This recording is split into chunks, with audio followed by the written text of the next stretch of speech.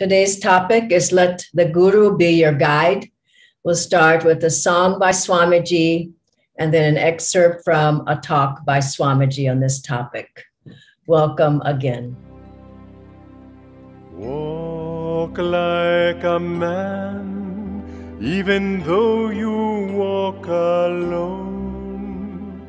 Why court approval once the road is known?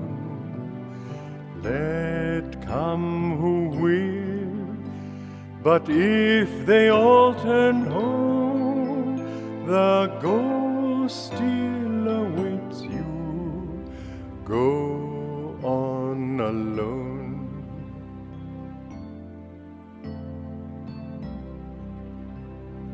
Follow your dream, though it lead to worlds unknown. Life's but a shadow once our dreams have flown. What if men cry, Your dream is not our own? Your soul knows the answer.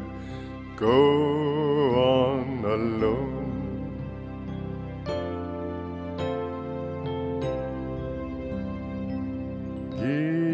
Life your heart, bless everything that's grown.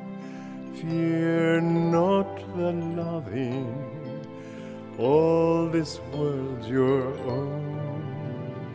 Make rich the soil, but once the seed is sown, seek freedom, don't linger. Go on alone.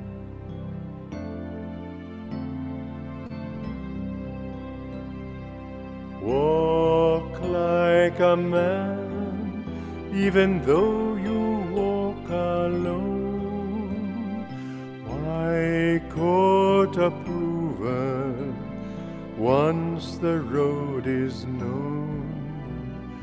Let come who will, if they all turn home, the goal still awaits you.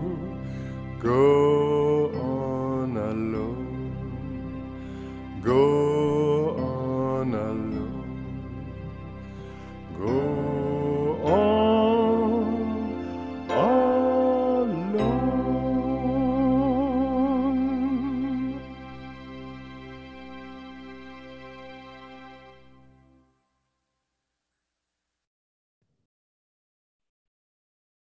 My first words when I met Master were, I want to be your disciple.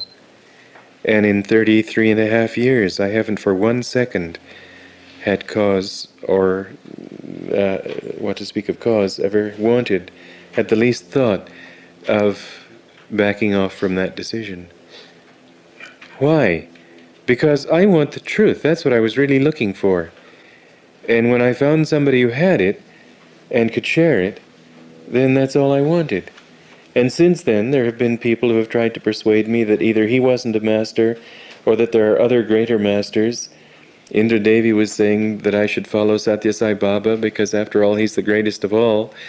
And uh, uh, my answer to that is not to bother with making comparisons. I, uh, it doesn't even matter to me whether Master is a completely realized Master, although I'm convinced he is and was. But what matters to me is that he has what I want and that I've given my life to him and that there is a commitment there that cannot be broken or even shaken. And that kind of commitment is something that that comes from the soul. It doesn't come from an intellectual decision. But if it were to be proved to me that there was somebody else who's greater, I'm sure there are better women than my own mother, but she's my mother. And so why should I go running after them? I can honor all women as mothers, but there's something special that Divine Mother gave me in the form of one woman as my mother. The same thing is true with the whole idea of discipleship. that our openness is not to a man, it's to an instrument. God has sent Master to us. God has given us a particular way, and we know it's godly. We know it by every possible test that we can apply. Then, if somebody were to come along and prove to us that Satya Sai Baba or some new Messiah to the age or Avatar or whatever has more of what God wants done in the age and some whatever reasons they could come up with, it no longer matters. This is the window God has brought, brought me to. As I said to somebody, even if your way is better, I could not be sincere following your way. Let me be sincere, at least, following my second best way, if that's all it is. Then he had to shut up. There was nothing more he could do to convert me.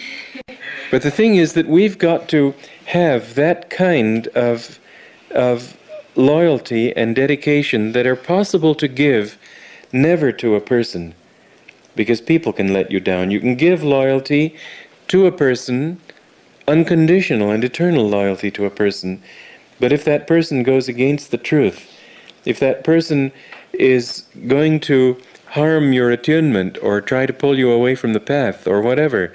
I'm thinking, for example, of old friends before you came on the path. You, they are your friends and you owe them that loyalty. And it's a loyalty that you should never uh, withdraw. But that doesn't mean you have to hobnob with them. You can say, wait till I gain, just as you don't, you don't uh, feel that you're running away from the world if you go to college and get a degree.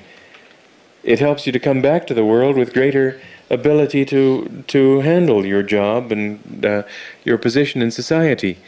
So it is that with old friends, let us say, we, could, we should leave them if they're not on the path but not leave, not take our hearts away, which is to say that someday we hope we will reach the point where we can bless them, or even now we can bless them, but someday we hope we can reach the point where we can, where we can repay this debt of friendship that we owe them. But that spirit of loyalty is very crucial, and crucial to the whole subject of the guru discipleship, and crucial in the point that it's essential to understand that the loyalty is not to a person except in a human way. Welcome again, friends. This is such an important topic of how to draw the guru's presence, how to be in tune with the guru. And it's a large topic. We can't go into it in the next few minutes that deeply. But I'd like to touch on a couple of points, a couple of parts of this on how to draw the guru into our meditation, how to draw the guru into our day, and how to draw the guru after our day uh, in gratitude for his love and protection for uh, all that he's given us in that day. I think many people, when they uh, meditate, they're maybe they do a prayer at the beginning. Maybe they bow. Uh, maybe they chant. Maybe they read something. But I think for the most part, for many people, after that short moment, the mind starts racing and it starts thinking about all kinds of things and the day and planning the day and what happened yesterday and what difficult relationships there were and are and the mind goes on and on. And I think many people in the meditation, they're not really going deep because of that. And I I think that that's the reason, the reason behind that is our mind isn't focused and concentrated on master, on the gurus, on divine mother. But specifically today, I wanted to talk about focusing on the guru in meditation, there is a very um, kind of humorous story that Swamiji would enjoy telling uh, about a, a young fellow who was in an ashram and he was being trained by his guru to concentrate and to meditate. And so one day the guru saw the boy, and the boy's mind was flailing, and the guru said, Well, you're not with me today. What's happened? And the boy said, Oh, I'm sorry, Master, but my my parents they got me a pet buffalo, so I can't. I'm not really here today as much as I would like, but I'll stop thinking about the buffalo. Don't worry, I'll stop. And the guru said, No, no, no. If if you can't, if you're thinking about the buffalo, you concentrate. Just concentrate on the buffalo. It's okay. Just we'll do the other things later. And so the boy said, okay. So the guru said, okay, I'll, I'll come back later. You just sit and you sit in this room. I'll close the door and you concentrate on the buffalo. So about 12 hours went by. I just heard this story again by Swamiji. It's just so fun. 12 hours went by and the guru comes back and the boy's sitting there and he said, well, what are you doing now? He says, oh, I'm thinking about the buffalo. And the guru says, and the boy says, can I come out now? He says, no, Stay there. I'll come back. Just keep thinking about the buffalo.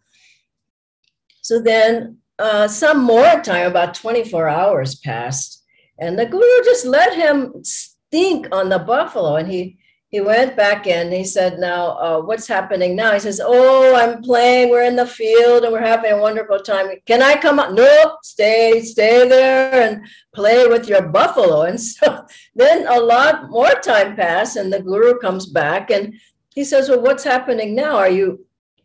What's happening with the? Uh, are you fine? Are you playing? What's happening with the buffalo? He says, "He says, what do you mean? I am the buffalo." And the guru says, uh, Well, okay, well, come on out now. I can't come out. My horns are too big. And he had become, he had embraced that thought. And it's a fun story, but also it's a great story because he had become from thinking, from concentrating on that buffalo, he had become like the buffalo. So the guru, the guy couldn't even come out of the room. So the guru went in and he touched him and the fellow was so deep in his concentration that he was he went into a very deep state and he was able to transfer that into deep meditation now this is the point for all of us if we can concentrate deeply in our meditation and use our focus on just take your time as you meditate in the mornings and really really try to draw master's presence D- during the entire meditation, not just for one minute in the prayer. Try to draw what he is, try to draw his consciousness as you meditate. Try, try to draw the light that he sees, draw the om from him, draw his vibrations, draw his joy and bliss. And just as you sit there, and I've been doing this a lot, and it's just so wonderful I mean, Master told the devotees, don't meditate alone. And one disciple said, Well, Master, I'm not here in the ashram. What if I'm by myself? He said, Am I not always with you?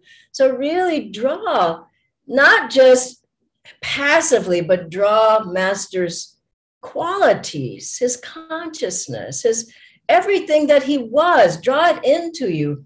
He said to some disciples once, Guruji said, they were helping him. He said, You're drawing a lot of magnetism from me.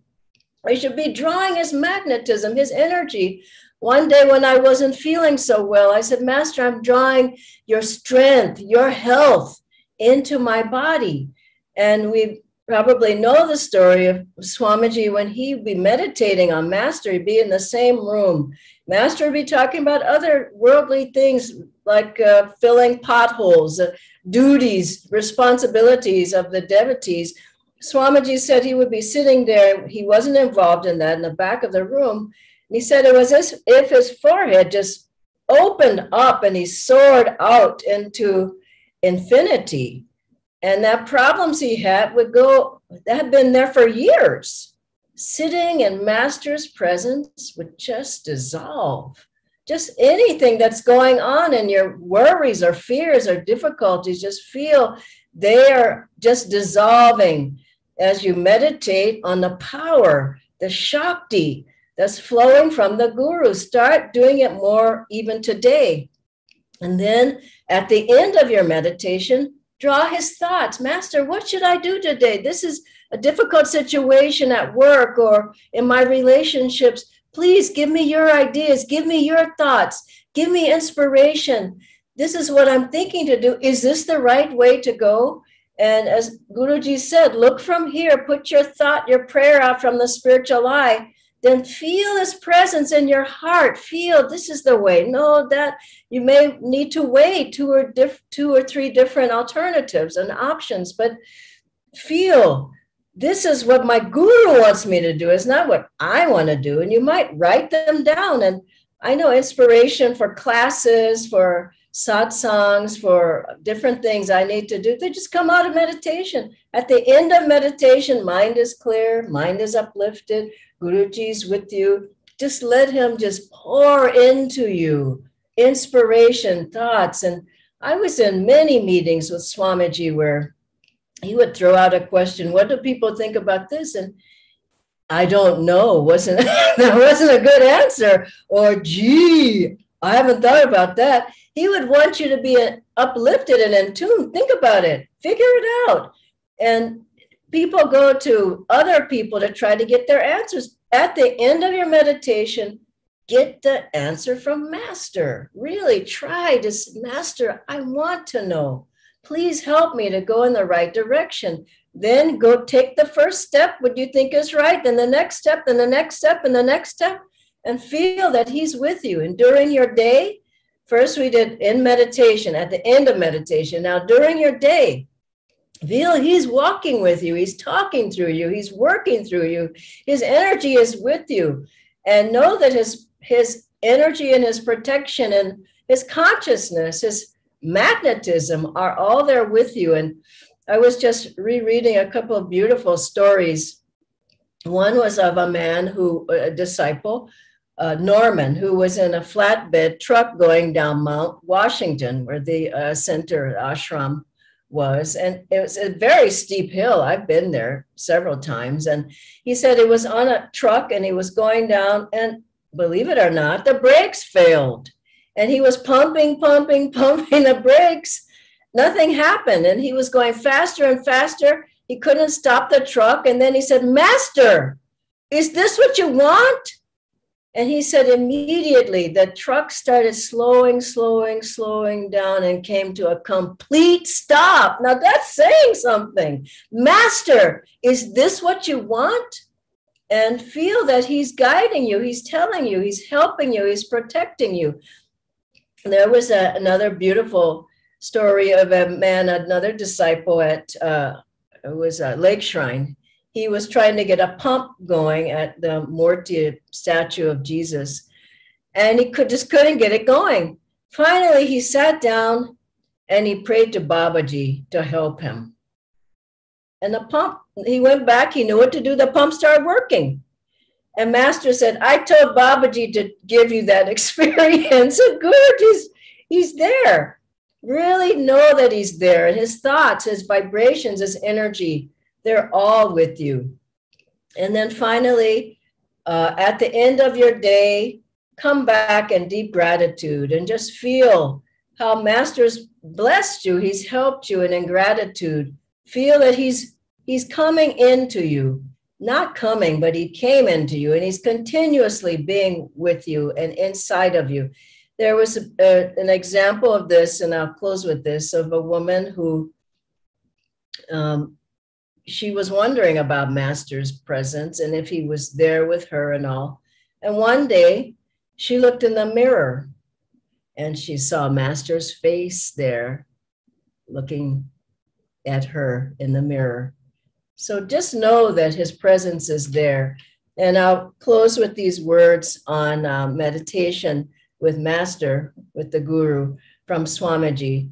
Bring the Guru into your presence, bring his grace, and feel him sitting right beside you in meditation. Feel that your own body is his body. Feel as if he were merged in you. This is what happens when the Guru enters you and fills you with divine blessings. He actually merges his astral body with yours and fills you with his magnetism. Om Shanti Shanti. And I'll ask Nitendra to come on the screen now. And we have a few questions for today. If you have other questions, you can put them in the chat group, in the chat. Thank you, Dhyanaji. I'll just share the questions.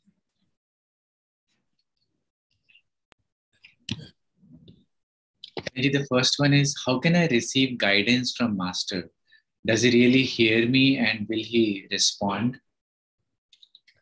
Yeah, that's a.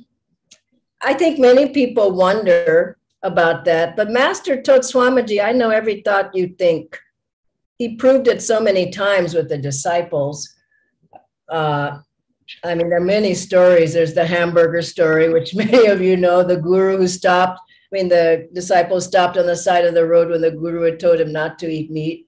Master the next day called him and said, By the way, when you're on the road late at night and there's nothing but hamburgers to eat, better not to eat. And there, there, are many beautiful stories like that. One disciple had left a gift for Master at his door. I think it was Christmas time, and Master, uh, the the disciple ran off, but Master knew who it was. He called him, "Thank you for your gift." And so he he knows the thoughts of the disciples, if he's in his body or if he's not. But I think it's more about our own consciousness, our own efforts, our own awareness, our own not being passive, but really putting it to Guruji. There was that one man, remember, he was there with Master for 12 years as a disciple. And Master said he left and he didn't come back, and different ones were coming and going. And the disciple said, Well, what about this man? Will he come back or when will he come back? Master said, He'll never come back. He was never in. And he was there. He was, a, I think he was even helping with teaching. I'm not sure of that point, but I believe so. And so it's up to us. We can't say, Where's the guru? Where's the guru? Where are you? Is the question. So call to Master, Om Guru. Keep him in your mind, uh, keep pictures around, listen to his voice on the recordings, read his words, do his practices. You'll magnetize him to come and be with you. I remember one time we were th- we were with uh, Kamala Silva, Master's uh, woman disciple, one of his women disciples, and we were chanting. She was living at Ananda village for, I don't know, some at least a year, maybe it was a couple of years. And we were chanting, I think it was Door of My Heart with her. And uh, she said, Master, that would draw Master's presence. So do things that would draw his presence. Don't just sit passively hoping he's going to be around. To those who think me near, I'll be near. Thank you, Dhyanaji. We have a live question, which is if I surrender completely to Master, then that will facilitate better calmness and peace. And that also will help me deeper, going deep in my meditation. Is that how the cycle also works? No. 25% is our efforts. Let's remember that. 25% the guru gives us he said lots of his good karma so we can get through. 50% is God's grace. And so we can't completely, I mean, surrender, I would say self offering. Now, what does the self mean? The ego, what I want, what I want to do, my thoughts, this is my idea, uh, my job, my everything. So there has to be a collaboration that the disciple can't sit back passively on the couch and hope that the guru is going to do everything for them. So the greater the will, the greater the flow of energy, greater the magnetism, greater the inspiration. So our part is important as well. So uh, surrender is, uh, it's a good word and it's not a good word because we think surrender means, okay, I won't do anything. But our path is all about energy, isn't it? Willpower, uh, making it happen, getting up and getting going. If you're in the bed in the morning, I surrender to the guru. I won't get up. He'll help me. He's not going to do anything. Get yourself out of the bed. And so um, I found that times when I had the most energy and the most joy was when I said, I will reason, I will will, I will act but guide my reason, will, and activity to the right path in every action. So you have a big part to play. And I see people who are soaring, the ones who are serving a lot, they're there, they're positive, the attitudes are right. Uh, and people who aren't just aren't, they're not at that level. So think about it. The guru helps those, you know, the saying, God helps those who help themselves. Same with guru. Guru helps those who help themselves. Thanks for the clarification, Dhyanaji. The next one is Are there others like psychics or astrologers who can guide me as well as master? No. That's the bottom line. The guru is God. How can a psychic tell you better than God? Isn't it? How can an astrologer tell you better than God? And the guru is above the psychics and the astrologers. Remember, Master, that man, uh, the astrologer who told him, oh, You will marry three times. And you and Master said, No way. And he took that astrological chart, he tore it up, he put it in a bag, and he lit it and put it on fire and he knew that God was above anybody else. And so, uh, I mean, it's helpful at times. I've had Nadi readings. Swamiji had one where the man seemed pretty good, but the man told him he'd live about four, four more years longer than he did. Master took him. So it's helpful, but don't lean on it. And I see people here leaning on that. Oh, I can't go outside because today my astro- astrological reading told me don't go outside. you see this with people, and just be use your common sense. And if you do, you'll find that you ask master is better. And then if you end up going to somebody, go to somebody good. We in Ananda, we have a very good astrologer Drapada. He goes by Swami Sri Yukteswarji's um, way, his his book and all. And there's a couple of other ones, Keshava and not the Keshava here in India, but in America. And there's some that they're devotees, they're Kriyabans, they're deep disciples, but just go to somebody off the street and as somebody who's not deep or long on the path, I would be very careful. I remember someone, well, I told the story already, but I won't I'll tell it again, but a so-called psychic told me something that was completely wrong. You're going to leave India. You won't be here. You're going to do this. And it took me, I mean, it took me a while to come out of that. And that was why I'm a strong devotee. And that was while I was here in India. So be careful with those kind of things. Thank you, Guruji. Um, we may take a few more minutes. We have two more okay. questions. The first one is Does the Guru know my thoughts and needs already? And yes. Does he help me even if I don't ask for help? I think you got to put some energy out, isn't it so? I mean, if you just sit there, he knows all my thoughts. It just doesn't add up. Does it add up? How can any, you know, you need help.